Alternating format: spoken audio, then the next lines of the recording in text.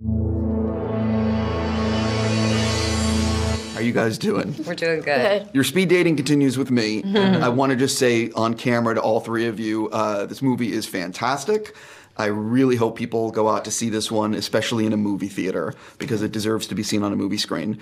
Um, and I'm so curious for all three of you. You, you guys have all worked on other projects, but you really, you don't really know what it's going to be until you see the finished film. So for all three of you, what, what what was it like actually watching this for the first time? Because it's a very powerful look at what's going on in our country, and it represents a lot. To anyway, I'll st- I'll stop talking. It's uh, it's interesting because I, I always have this. Uh, people ask me, oh, wow, what is it gonna look like? Or I never know because, like you said, you know, you, you, as an actor, you go there, you do your best, and, and you hope for the best. I've been in films that things were great, and I thought everybody was, oh, this is gonna be great, and when you watch it, it's like not that great, and the opposite the same, like chaotic processes where the film is awesome.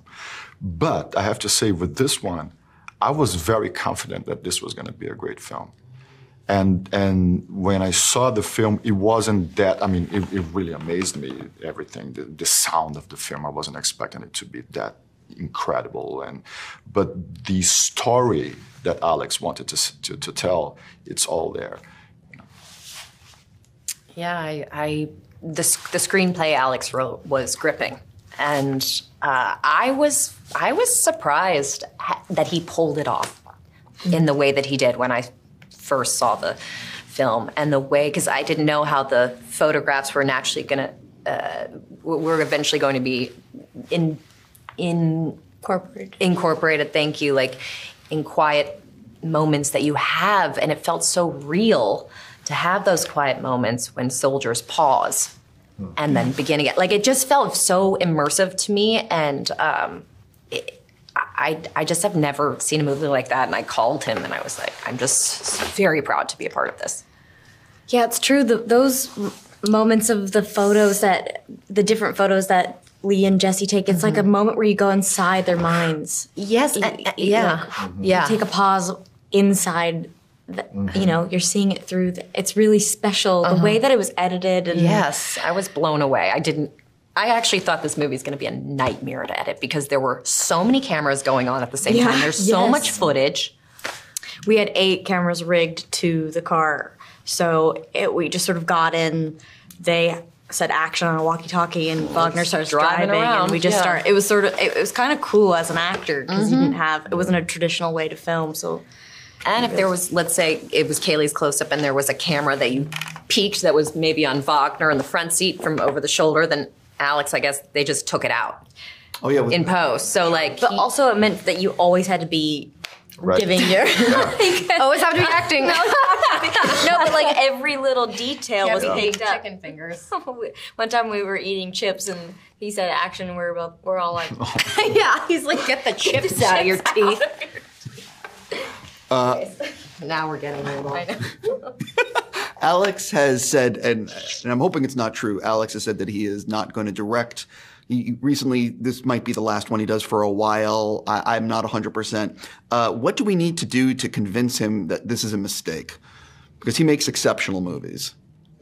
I mean, he's kind of co-directing in a way, or Ray is directing the film. Ray Mendoza, our uh, main military military advisor. advisor, yeah, is making a film about his experience, and Alex is going to be his right hand man, produce it along the entire way with Ray. So, and he's also still writing. Oh, he's still yeah, he writes. Oh, listen, yeah. Fantastic, but yes. you, you, know what I mean. After yeah, you see yeah. Civil War, you're like, please keep making movies. Yeah, yeah. totally. You know what I mean? It's like, so, I agree. But I believe him. I think he's gonna.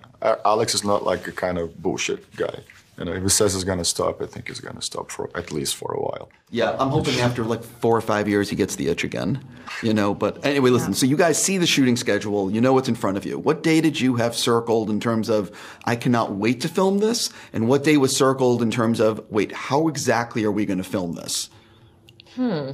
I never circle any dates of anything. We we shot in order, so that was yeah. kind of like we had the build up of the actual heightening of the film yeah. in front of us in, in life. But I think that the mass grave scene was something that I, I personally was sort of like, oh, it's going to be next week, right? Mm-hmm. so that, that kind of scene.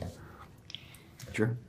Yeah, same. That, that yeah, that, that was the one that was like, okay, here we go. We got it. We have to get this kinda- right. You know. There is a line that uh, uh, Jesse says in the film, which is, What kind of American are you? I love this line, and I love that scene, the way it all plays out. Uh, can you talk about when you're filming stuff like that on set as actors? Is it just like the energy on set on a scene like that? You know what I mean? When it's that intense? And um, if you could just talk a little bit about that. that scene was very particularly uh, that's maybe that's why i was like oh my god this is the day where i shoot that scene because i I, re, I personally reacted like in a very strong way to that scene since i read the script.